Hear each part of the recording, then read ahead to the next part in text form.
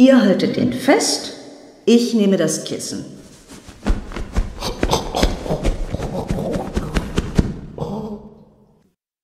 Ich habe mich ja zum Glück instinktiv rausgehalten aus der Sache hinter der Bühne. Aber jetzt, wo ich gerade dabei bin, will ich hier jetzt mal was über das Sittengesetz sagen, ja? Das ist nämlich gar kein richtiges Gesetz. Das ist, ähm, das ist. Also ich gebe zu, in einem Punkt bin ich tatsächlich schuldig. Für eine gute Nackenmassage könnte ich manchmal wirklich töten. Das war aber bisher nie nötig, damit hier keine Missverständnisse aufkommen. Körperliche Gewalt und die Kunst des Massierens passen meiner Ansicht nach überhaupt nicht zusammen. Mal ehrlich. Wer konnte vorher ahnen, dass es schließlich so enden würde? Es gibt einfach zu viele Freaks. So ist es doch. Und warum hacken eigentlich immer alle auf der Idee gemütlicher und friedlicher Fernsehabende herum? Na, warum soll ich es leugnen? Die Mühe kann ich mir sparen. Ich war zur fraglichen Zeit am fraglichen Ort. Und ich bin nach wie vor eine autonome Person. Eine Bürgerin, die eine Situation bewertet und danach gehandelt hat. Nicht mehr und nicht weniger. Hm, mit dieser ernsten Geschichte habe ich eigentlich auch gar nichts zu tun. Ich lehne Gewalt natürlich in jeder Form ab.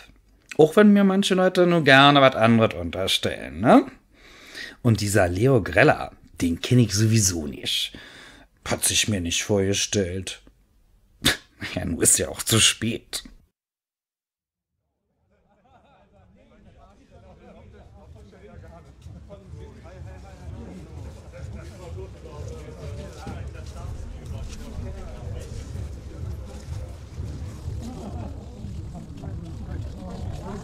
Oh, wann geht's denn bloß mal weiter mit dieser verdammten Schlange? Es wird noch eine ganze Weile dauern, bis wir drin sind. Was meinst du? Wie viele Leute stehen hier draußen und warten, bis sie endlich reinkommen? 100 Freaks bestimmt. Eher 200 Leute. Quatsch, 200. Auf jeden Fall mindestens doppelt so viele Freaks. Und es werden jede Minute mehr. Wir stehen aber immer noch im hinteren Drittel der Schlange. Schlecht organisiert. Das Ganze ist richtig schlecht organisiert. Die können ja immer nur Leute von draußen reinlassen, wenn von drinnen welche rauskommen. Sonst wird's in der Halle zu voll. In dem Laden muss es jetzt ja richtig abgehen. Ist wahrscheinlich in erster Linie wieder mal Gedränge im Hickhack-Club. Ich bin sowieso nur mitgekommen, weil der Greller hier für heute angekündigt wurde. Der Leo, genau. Den habe ich schon so lange nicht mehr live gesehen. Und dann noch bei so einer verschärften Veranstaltung. Bei einer Sexsause. Aufregend. Immer noch so vielseitig wie zu seinen guten alten Zeiten, der Herr G. Hoffentlich wird's keine Enttäuschung. Ich verstehe nur nicht ganz, was Leo Greller mit so einem Fetisch-Sex-Event wie dem hier zu tun hat. Der ist doch eigentlich Aktionskünstler, äh, beziehungsweise Sänger oder so. Stimmt's? Sänger alleine reicht heute nicht mehr. Und Fetischsex offenbar auch nicht. Er will da drinnen amoröse Texte vortragen. Steht auf dem Flyer. Und dem Publikum die Leviten lesen. Spannend. Wenn das mal in den Rahmen der Veranstaltung passt. Ich denke, dort drin sollen heute die Wände wackeln. Hm. Da warten hoffentlich ein paar süße Häschen auf mich. Wenn ich mir hier draußen schon den Arsch abfriere. Boah, das ist wahr, ja. Ziemlich kalt für Oktober. Wenn ich das schon wieder höre. Süße Hasen. Süße Häschen bitte, ja? Hasen kommen mir besser nicht in die Quere. Oh, es ist mir rätselhaft, wie wir beides fast ein Jahr miteinander ausgehalten haben. Du ständig mit deinem Herumgebalze. Und ewig hat sie diese esoterischen Greller-CDs gehört. Die reinsten Liebestöter. Na, nun ist es ja schon eine Weile vorbei mit euch zwei Turteltäubchen. Na, allerdings. Dann benehmt euch doch jetzt bitte auch wie zivilisierte Ex und genießt mit euren Freunden einen anregenden Abend. Genau. Ihr habt recht. Ich bin froh, dass ihr drei dabei seid. Ehrlich. Den Auftritt von Leo wollte ich auf keinen Fall verpassen. Ah, auch wenn er auf so einer Fetisch-Kommerzparty stattfindet, wo sämtliche Perverse von Berlin hingehen. Und wir halt. Hm, mir kommt es ebenfalls vor, als wäre die halbe Stadt hier. Nicht zu vergessen die ganzen Sextouristen aus Übersee. Und der Bürgermeister ist bestimmt auch schon drin. Jede Wette, dass er sich das nicht entgehen lässt. Ach, scheiß VIPs. Scheiß Ami-Touris. Scheiß Klimawandel. Da kommen gerade wieder welche raus. Es geht wieder ein Stück weiter. Die Kleine kann ja kaum noch gehen. Oh, dem Großen hängt immer noch der Sabber an der Lippe. Ih, ob das wirklich so eine gute Idee war, hierher zu kommen? Na klar. Zur Not binde ich mir ein Lätzchen um. Ich weiß nicht. Nur wegen dem Greller in so einen Laden zu gehen? Ich bestimmt, nicht nur wegen dem. Dabei hätte man heute auch nett Fernseh gucken können. Was denn? Fernsehen? Fußball. Du meine Güte. Mit Männern über 35 ist doch echt nichts mehr los. Die werden sowas von träge. Na, ich bin dann ja schließlich doch mit euch gekommen. Hm? Gar keine Lust auf die scharfen Bräute. Und den Greller. Und die Abzocke. Scharfe Bräute? Also, wenn ich mir diese Schlange so ansehe. Äh, Bis auf euch zwei Hübschen natürlich. Gerade noch die Kurve gekriegt. Hm. Ja, irgendwie hast du nicht so unrecht. Ganz vereinzelt mal eine süße Maus. Aber im Großen und Ganzen. Also die sexuelle Elite der Stadt scheint sich hier nicht gerade versammelt zu haben. Verharmte Großstadt-Amazonen, Stiernacken mit Glatze, graue Mäuse und halbe Portionen. Ist doch meistens so bei solchen Clubs. Da muss man drüber hinwegsehen. Man ist schließlich selbst auch keine 20 mehr. Die meisten Frauen hier sind schon derbe überschminkt. Und manche sonnengegerbten Herren tragen einen ziemlichen Bierbauch vor sich her. Na, die Kleine da hinten hat aber immerhin sehr hübsche Beine. Die da, zehn Meter vor uns? Ja, die neben dem Typen mit dem vielen Metall im Gesicht. Stimmt. Der hat hübsche Beine. Voila! Nein, es ist schon richtig nett, mit euch mal wieder wegzugehen. Besser als Fernsehen. Ist auf der Schlange stehen. Verdammt schlecht organisiert von diesen Party-Abzockern. Ich habe übrigens gestern auch mal wieder einen Fernsehabend eingelegt. Hm, Öffentlich-rechtlich natürlich. Recht so. Ja, trotzdem war es daneben. Auf dem ersten lief ein biederes Beziehungsdrama. Und auf dem zweiten eine Show mit Edith Schröder. Du meine Fresse. Die Schröder wollen sie wohl als neue Mutter der Nation aufbauen, wenn sie der ständig eine Show nach der anderen verpassen. Die ist doch sowas von miefig. Typisch für den konservativen Backlash in der Gesellschaft, wenn ihr mich fragt. In dieser einen Fernsehserie fand ich sie immerhin ganz überzeugend. Als sie die taffe Frührentnerin aus Neukölln gespielt hat. Oh, habe ich auch gesehen. Wo sie in Privatinitiative Migrantenkindern Sexualaufklärungsunterricht erteilt hat. Und die deutschen Sozialarbeiter liefen deshalb natürlich amok. Das war doch. Ha, total unglaubwürdig war das. Ich erinnere mich. Der langweiligen Schröder hätte ich höchstens abgenommen, dass sie den Mädchen Stricken beibringt. Das wäre sicher auch den linken Sozialklempnern lieber gewesen. Dann hätten sie die Alte vermutlich auch nicht beim zuständigen Glaubenswächter denunziert. Einverstanden, das hier ist allemal besser als Fernsehen. Nur halt die blöde Schlange. Wenn es hier draußen so langsam weitergeht, dann komme ich sicher überhaupt nicht mehr zum Schuss heute Nacht. Wenn dir das mal so wichtig gewesen wäre, als wir noch zusammen waren. Auweia. Ich habe damals immerhin vorgeschlagen, dass wir mal in den Hickhack-Club gehen sollen, um uns ein bisschen Anregung zu holen. Du weißt genau, ich war damals psychisch etwas labil. Und konnte so etwas wie das hier gerade am wenigsten gebrauchen. Ja, aber kaum hat dieser Leo hier einen Gig. Die Kultur wertet so ein Rumgemache gleich enorm auf. Das ist eben der moderne Mix. Also kommt, vertragt euch. Wir wollen doch alle einen schönen Abend haben. Aber erstmal müssen wir reinkommen. Lieber verehrter Ex, ich finde es unheimlich nett von dir, dass du heute Abend mit dabei bist.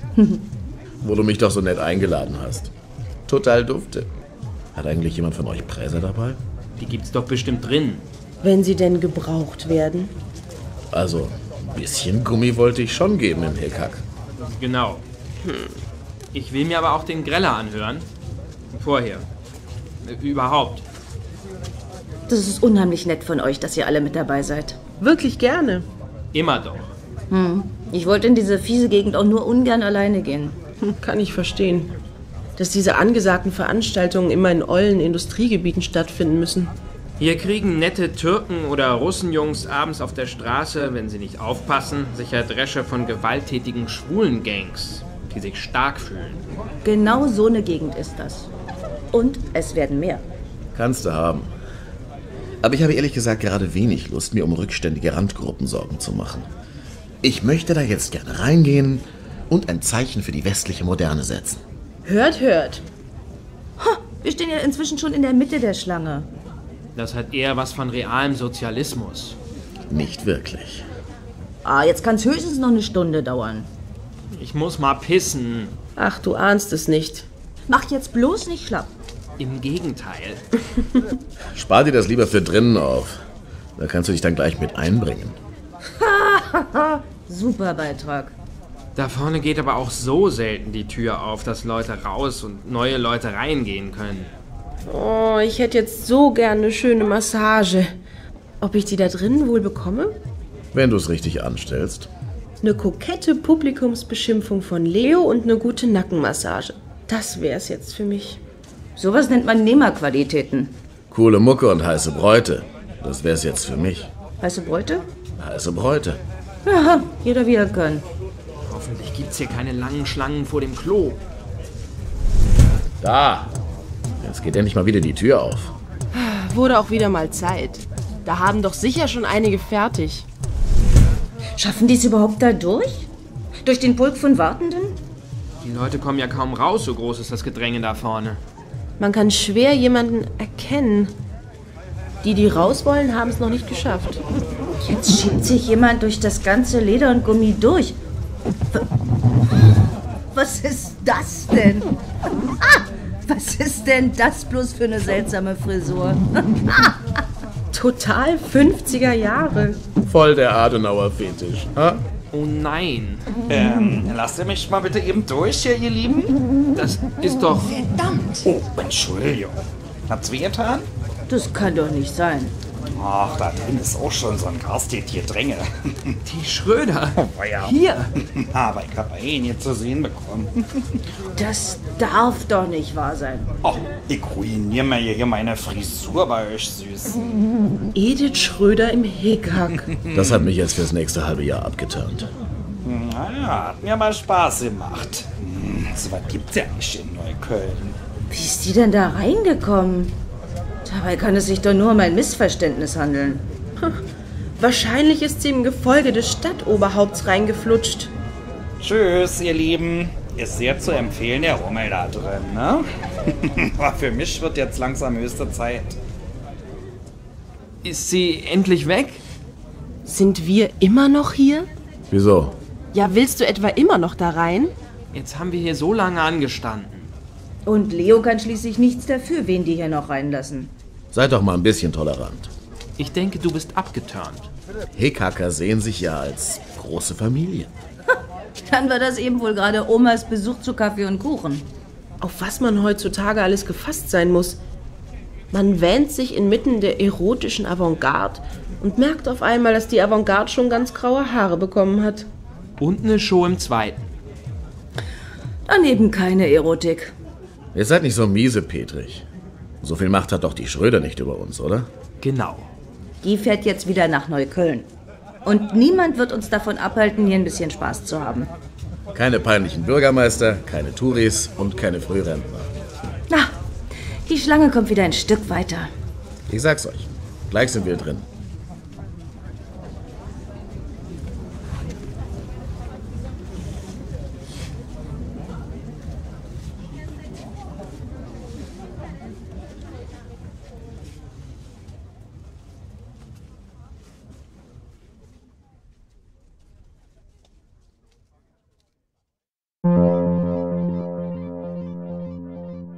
Stimmt schon.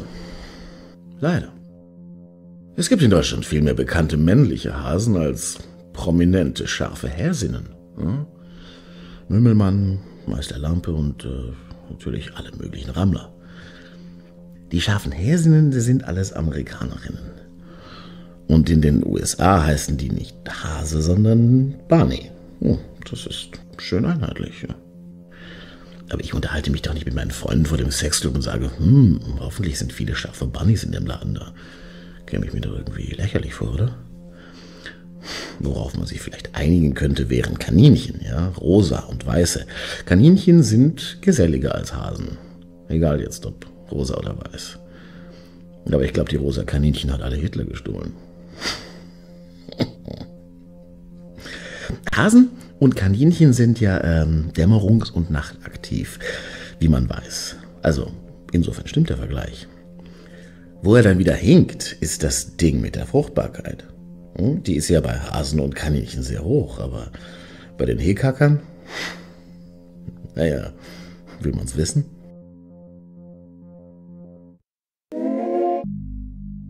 Sexualaufklärung ist eine notwendige und außerdem eine wunderbare Sache. Zumal wenn es nicht die eigenen Kinder sind, denen man das Handwerkszeug für eine gelungene Sexualbiografie an die Hand gibt. Gerade in Deutschland ist das Wissen um die wichtigsten Regeln im sexuellen Umgang miteinander mindestens genauso wichtig wie beispielsweise die Bestimmungen der Straßenverkehrsordnung. Ist doch so. Es gibt Vorfahrtsregeln, es gibt Ampeln, die auf Rot schalten, Geschwindigkeitsbegrenzungen rechts vor links natürlich und möglichst nüchtern das Ganze. Und zum Glück freie Fahrt für freie Bürgerinnen und Bürger.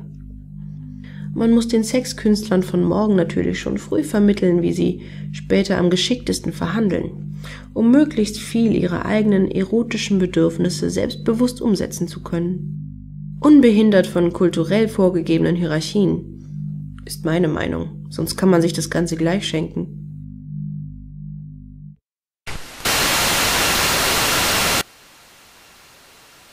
Also zugegeben. Die Nacht im Hicker-Club war natürlich um Längen aufregender als ein Abend vor der Glotze. Obwohl, Matscheibe kann natürlich auch immer wieder mal ganz schön grausam sein. Ich kann mich erinnern, den Leo Greller habe ich ja vor einiger Zeit schon wieder im TV gesehen. Nicht in dieser Talkshow am Alex in Berlin, sondern in einer von der von den von den St. Pauli Landungsbrücken in Hamburg, wo er ja eigentlich herkommt, also vom NDR. Da wurde er befragt von so einem Moderatorin-Duo. Der pummeligen Blonden und der drallen Brünetten. Da hatten die sich darüber ausgelassen, dass der Greller in ihren Augen so bescheiden sei, wenn er den Leuten in Deutschland nicht einfach sagen würde, wie es wäre. Dass er nämlich gar nicht so ein großer Loser sei, wie die meisten denken würden, und dass er damit aufhören solle, seinem Publikum zu verheimlichen, dass er in Schweden schon seit Jahren ein richtig großer Star wäre. In einer eigenen Sendung im Privatfernsehen. Das wäre in unseren Breitengraden, so bescheuert haben sie sich, glaube ich, ausgedrückt, schließlich kaum bekannt. Daraufhin hatte er so ein bisschen rumgedruckst und erklärt, dass es ja eigentlich gar nicht so spektakulär sei, in Stockholm ein kleiner Star zu sein. Dass sein Erfolg bei den Wikingern eigentlich ja nur daher rühre, weil seinen melancholischen Texten bei Nordlichtern, die ja kein Deutsch verstehen, etwas faszinierend Surreales anhaftet. Die brünette Moderatorin hatte währenddessen die ganze Zeit gekichert.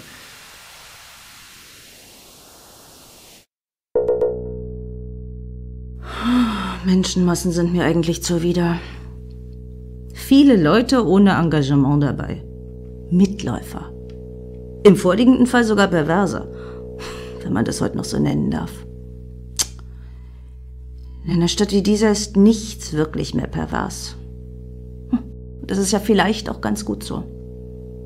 Trotzdem kann es wohl nicht schaden, wenn diesem bunten Personenkreis ab und an mal aus berufenem Munde die Leviten gelesen werden. Wenn wenigstens der Versuch unternommen wird.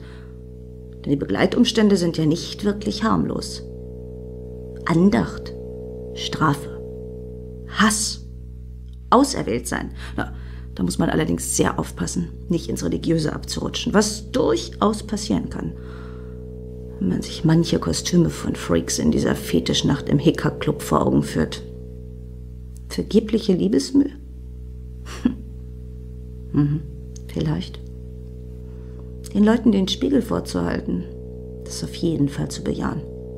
Und eigentlich genau die richtige Aufgabe für jemanden wie Leo. Ha, eigentlich.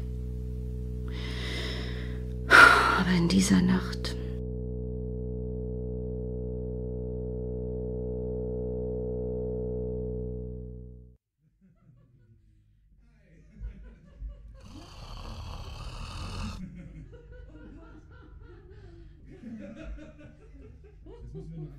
Da liegt er und schläft.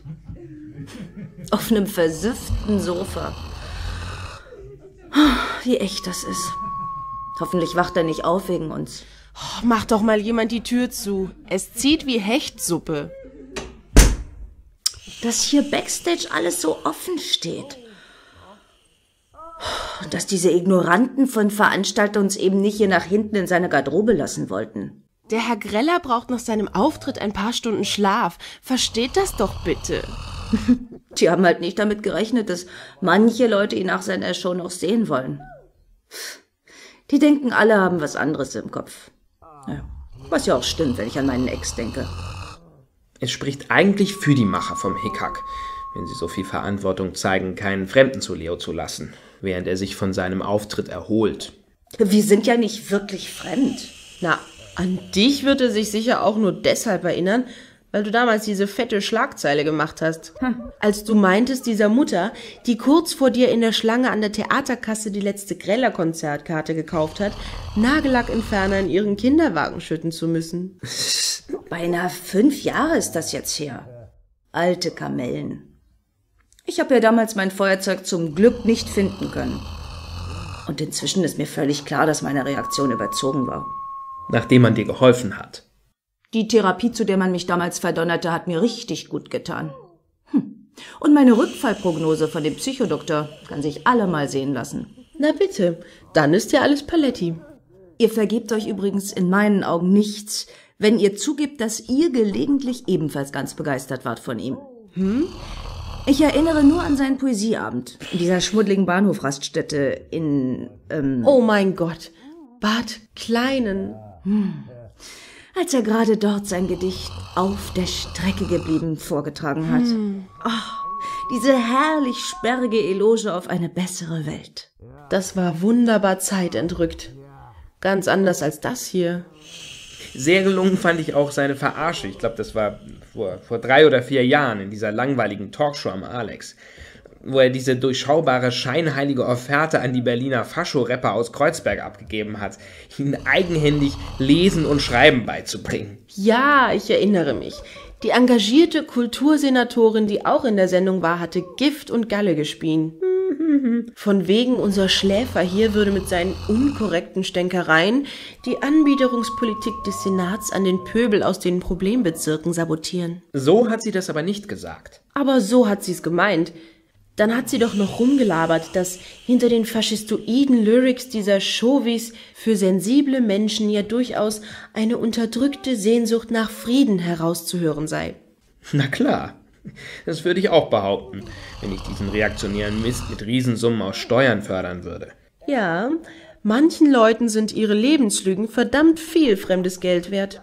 Und genau deshalb ist es doch wunderbar, dass Kleinkünstler, die nichts zu verlieren haben, dort den Finger in die Wunde legen können. Und solche Männer soll man nicht lieben? Na, die Leute hier im Club tun's nicht. Schon gar nicht, nachdem er sie eben in seiner Show als degenerierten Abschaum beschimpft hat. Als Verlierer, die hier nichts weiter als ihre sexuelle Abgestumpftheit zelebrieren. Sie haben gelacht. Hm. Ihre Art, sowas wegzustecken. Sie haben ihn ausgelacht. Und als er rummägelte, dass die Sexszene dieser Stadt überhaupt nicht mehr politisch sei, haben doch alle nur noch gehofft, dass er endlich aufhört und die Leute mit solchen Ratschlägen verschont, wie was hat er den Hacker nochmal geraten? An ihrer Stelle würde er dafür demonstrieren gehen, dass Erziehungszeiten für Hunde bald als rentenrelevant anerkannt werden. Sonst wären ihre Altersaussichten mehr als düster. Besserwisserisch. Sowas will doch niemand hören. Das Pärchen, das neben mir im Publikum stand, hat immerhin kurz ein bisschen betreten geguckt. Aber dann ging's natürlich weiter mit Party. Vor ein paar Jahren noch hätte er die Leute wie sein Kollege Schlingensief mit scheinheiliger Besorgnis und Beschimpfungen zum Nachdenken provoziert. Heute muss er sich nach ein paar wohldosierten Sticheleien in einem schimmligen Hinterzimmer von seinem ignoranten Publikum erholen. Seine große Zeit ist vorbei. Kann man das einem Menschen vorwerfen? Irgendeinem? Würde mich nicht wundern, wenn manche Hickhacker jetzt Aggressionen gegen ihn hätten. Gut, dass wir hier sind und auf ihn aufpassen. Ich wollte eigentlich auch gerade noch ein bisschen unter die Leute mal reinschmecken. Nichts da. Es gilt, ihn vor diesem Abschaum in Schutz zu nehmen. Hier wie anderswo. Na gut. Wir könnten vielleicht statt nur rumzuquatschen tatsächlich mal was bewirken. Mit ihm. Wir drei, wie wir hier stehen. Ach, hier seid ihr. Bei dem müden Poetenkraballo. Wir überlegen gerade, wie wir ihm helfen können. Der sollte sich lieber da drin ins Getümmel schmeißen, da würde man sich seiner schon irgendwie annehmen. Ist es gut? Man hat es eigentlich eher mit äh, leichten Jungs und schweren Mädchen zu tun als umgekehrt, aber mm, es macht trotzdem Spaß. Vielen Dank. Wir haben hier auch Spaß. Entlasst ihn doch wenigstens aus eurer Leichenflatterei. Nein, er bleibt lieber bei uns und kümmert sich um Leo. Na schön. Äh, Stimmt doch, oder? Wir sollten lieber die Situation hier nutzen. ich sehe ehrlich gesagt nicht so ganz, was wir für ihn tun könnten. Nur weil er da gerade mal zufällig schlafend vor uns liegt. Dir fehlt Engagement. Leos männliche Fans waren noch nie ein Aushängeschild für besonders ausgeprägte Leidenschaft. Ja, ja, schon gut. Es ist halt nicht jedermanns Sache, halb nackt und kreischend fahrenden Taxis über den Jungfernstieg nachzulaufen. Warte auf mich, Süßer, rufend. Und hinterher stellte sich heraus, dass Leo gar nicht drin saß. Eben, das meinte ich mit Engagement. Ach das, jetzt verstehe ich. Irgendwie liegt hier etwas in der Luft. Findet ihr nicht? Schicksal. Ich fürchte eher, die Luft ist langsam raus aus dem Weltenprovokateur. Jetzt hör endlich auf rumzumäkeln. Aber wenn wir mal Revue passieren lassen. Was er sich für Sachen erlaubt hat in jüngster Zeit. Muss das sein? Wie war das denn zum Beispiel auf seiner Homepage? Da veröffentlichte er doch bereits symbolisch Nachrufe auf hoffnungsvolle junge Künstler, als diese überhaupt noch nicht einmal ihren Durchbruch geschafft hatten. Leo hat einfach keine Geduld mehr in letzter Zeit. Und seinen unversöhnlichsten Kritikern gegenüber, egal welchen Geschlechts, machte er, wenn ihr euch mal erinnern wollt, schamlos unzweideutige Annäherungsversuche, sodass sein bürgerliches Publikum erschauderte. Diese versnobte Kulturbourgeoisie aus der Fasanenstraße. Oder dieses peinliche Gerichtsurteil in Sachen Prominentenstalking, wo Leo vor ein paar Jahren zum ersten Fall wurde, bei dem der entsprechende Paragraph umgekehrt Anwendung fand. Ja, da hat mal der Fan den Künstler angezeigt, weil unser lüsternder alter Herr so einem jungen Ding nachstellte. Leo hatte wirklich keine guten Argumente für seine Verteidigung. Mehr als unglaubwürdig, zu behaupten, dieser 22-jährigen sexy Blondine lediglich seine Kunst näher bringen gewollt zu haben, als er sie immer wieder vor ihrem Arbeitsplatz abgegrellert und in der Schönhauser Allee unter ihrem Fenster Ständchen gekrölt hat. Seine Musik. Er hatte damals doch gerade seine letzte anspruchsvolle musikalische Phase mit der CD Halblang Kleines. Die hätte er ihn näher bringen wollen, behauptete er. Ja, und genau deshalb hatte die Richterin richtig daran getan, der jungen Frau zu glauben, als die vehement Leos Behauptung abstritt, Interesse für seine Musik bekundet zu haben. Wer soll das auch glauben? Ein hübsches junges Ding mit einem guten Musikgeschmack? Mehr als unwahrscheinlich. Absolut unglaubwürdig. Und alles in allem wieder eine ziemlich blamable Angelegenheit für ihn. Er ist künstlerisch und menschlich am Ende. Na und? Dann geh doch raus zu den anderen, wenn's dir Backstage mit uns und dem Schläfer so unerträglich ist. Er ist wirklich ein Schläfer. Aber leider keiner, der es irgendwann noch einmal ordentlich knallen lassen wird. Ich bleibe trotzdem. Hier wird demnächst etwas passieren. Und da will ich dabei sein. Was denn? Erwartest du noch irgendwas Besonderes heute? Er hat gemerkt, dass ich noch etwas vorhabe. Etwas Lohnenderes, als alten Zeiten nachzutrauern. Etwas Wirkungsvolleres als Reden. Hm. Ein wirklicher Akt. Eine Aktion? Ein Zeichen? Ich plädiere aus Gründen des Anstands und der Fürsorge dafür, diesem gefallenen Helden der Kunst zu helfen. Damit sein Lebenswerk keinen weiteren Schaden nimmt. Aha. Ja. Aha. Unser letzter schlafender Gerechter hier ist nämlich bedauerlicherweise auch der Letzte, der merkt, dass die Gelegenheit für einen würdigen Abgang langsam verstreicht. Würdig in dem Sinne, dass er endlich aufhört, die guten alten Zeiten, seine guten alten Zeiten und ja damit auch unsere, zu verraten? Irgendjemand muss sich einfach erbarmen und ihn davor schützen, sich im Alter vollends lächerlich zu machen, seine eigene Legende zu dezimieren. Und dazu benötige ich ein Kissen. Ein Kissen. Ja, genau. Wie das dort, das Leo im Schlaf vom Sofa geschubst hat. Und wie willst du ihm mit einem versifften Kissen helfen? Moment mal, du willst. Allerdings. äh, es- Es ist sowohl die sauberste Lösung als auch die endgültigste. Was für eine dramatische Wendung. Und so einleuchtend. Irgendwie. Wie lange haben wir jetzt gebraucht, bis einem von uns die Idee mit dem Kissen gekommen ist? Wenn du so fragst, wohl zu lange. Und du hast recht. Wir stehen hier doch bereits seit mindestens zehn Minuten herum. Dabei ist die Gelegenheit, ihm bei diesem letzten großen Schritt in seinem Künstlerleben zu helfen, vielleicht nie wieder so günstig wie heute. Jetzt. Hier. Hier und jetzt. Ehe von diesen Spinnern da draußen noch jemand reinkommt und ihm was antut. Wir sind ganz unter uns und meinen es gut mit ihm. Es geht schnell und er wird kaum was spüren. Ich bin soweit. Lasst uns noch einmal kurz innehalten und ihn einen Augenblick lang anschauen. Ihr haltet ihn fest, Ja, ich nehme das Kissen. Fester. Es ist zu seinem Besten.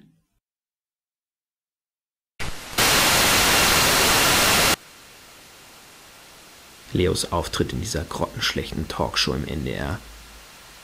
Ich glaube, er hatte zeitweise sogar ein paar Tränen in den Augen. Ich hatte zuerst nicht so ganz verstanden, weshalb. Ich meine, dieses Moderatorenpaar war natürlich schon gruselig. Aber dass der Greller deshalb mit den Tränen kämpfen musste, ein Würgereiz wäre da ja naheliegender gewesen. Die Kamera hatte gleich weggeblendet, als man es in seinen Augen glänzen sehen konnte.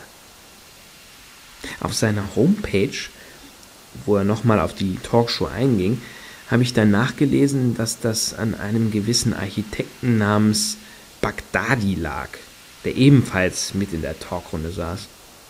Also der, der vom Hamburger Senat immer bevorzugt die großen Bauvorhaben in der Stadt entwerfen darf. Als dann als Einspielung in der Show ein Film lief, wo einige von Bagdadi entworfene Gebäude gezeigt wurden, sei es einfach über Leo gekommen. Und ähm, das erklärte er auf seiner Homepage. Er musste wohl daran denken, wie seine schöne Heimatstadt von einigen Profitgeiern und der Politmafia immer mehr verschandelt wurde in den letzten Jahren. Daher die feuchten Augen. Ich finde Neu ja manchmal ganz gut. Echt sensibel, der Leo Greller.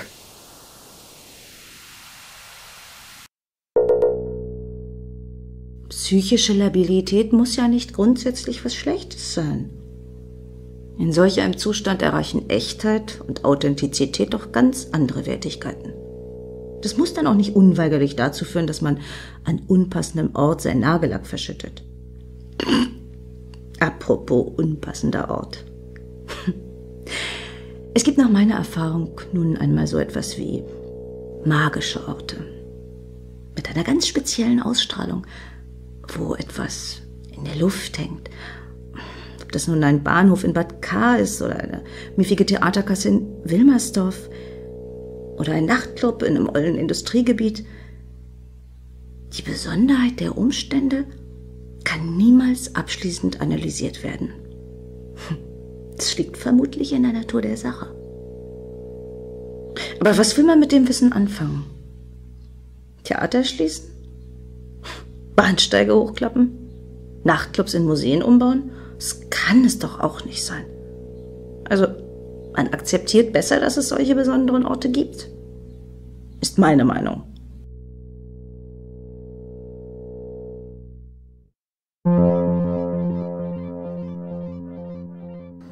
Hierzulande hat es ja die westliche Moderne mit dem Grundgesetz zu tun. Auch in Berlin. Viele mehr oder weniger gut gemeinte Artikel, die uns Westler schützen sollen. Vor anderen und vor uns selbst. Und bei den Artikeln im Grundgesetz stoßen wir ebenfalls wieder auf rosa und weiße Kaninchen. die nicht wirklich gut zusammenpassen. Da haben wir in Weiß Artikel 6, Absatz 1 über Ehe und Familie. Ehe und Familie stehen unter dem besonderen Schutz der staatlichen Ordnung. Hm. Schön für die Mamis und Papis in Steglitz. Da können die nachts ruhig schlafen. Aber in Rosa haben wir dann auch noch Artikel 2, Absatz 1 über die persönlichen Freiheitsrechte. Jeder hat das Recht auf die freie Entfaltung seiner Persönlichkeit, soweit er nicht die Rechte anderer verletzt und nicht gegen die verfassungsgemäße Ordnung oder das Sittengesetz verstößt. Die vertragen sich nicht besonders gut. Rosa und weiße Artikel. Das ist kein Geheimnis. Wäre vielleicht doch einfacher, wenn, wenn alle Bunnies wären. Aber jetzt, wo ich gerade dabei bin, will ich hier jetzt mal was über das Sittengesetz sagen, ja? Das ist nämlich gar kein richtiges Gesetz. Das ist, ähm, das ist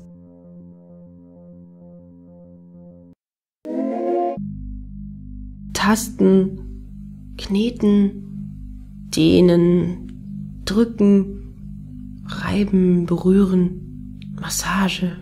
Wunderbar. Das ist vermutlich die moderne Umwelt, die einen immer wieder so verspannt. Arbeit, Beziehungsstress, Freizeit.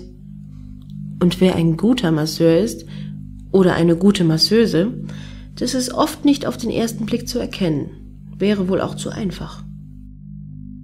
In solchen Clubs wie dem Hickhack ist die These, dass eine gute Massage schlechtem Sex vorzuziehen ist. Im Moment wohl noch nicht mehrheitsfähig.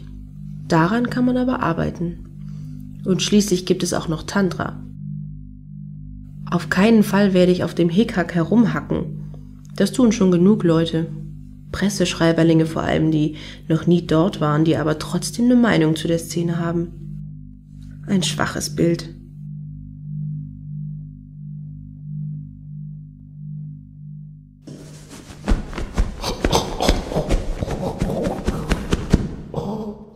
Hm. Ja, du bist ja auch zu schwierig. Warum soll ich es leugnen? Die Mühe kann ich mir sparen. Es gibt einfach zu viele Freaks. So ist es. Körperliche Gewalt und die Kunst des Massierens passen überhaupt nicht zusammen. Aber jetzt, wo ich gerade dabei bin, will ich hier jetzt mal was über das Sittengesetz sagen. Ja? Das ist nämlich gar kein richtiges Gesetz. Das ist, äh, das ist, das ist